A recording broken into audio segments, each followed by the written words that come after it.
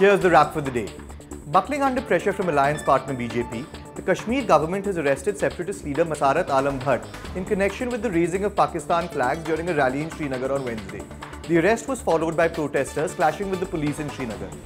The Supreme Court has questioned the Mamata Banerjee government as to why over rupees 500 crore has not been dispersed back to the victims of the Saradha Chit Fund scam in West Bengal. On the eve of municipal polls in Calcutta, the court's reprimand could slightly dent the TMC's chances.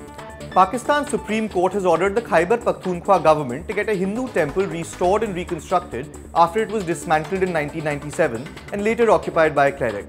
Facebook founder Mark Zuckerberg defended his pet project, Internet.org, saying that providing free services and universal connectivity does not go against the spirit of net neutrality. How could we skip Rahul Gandhi?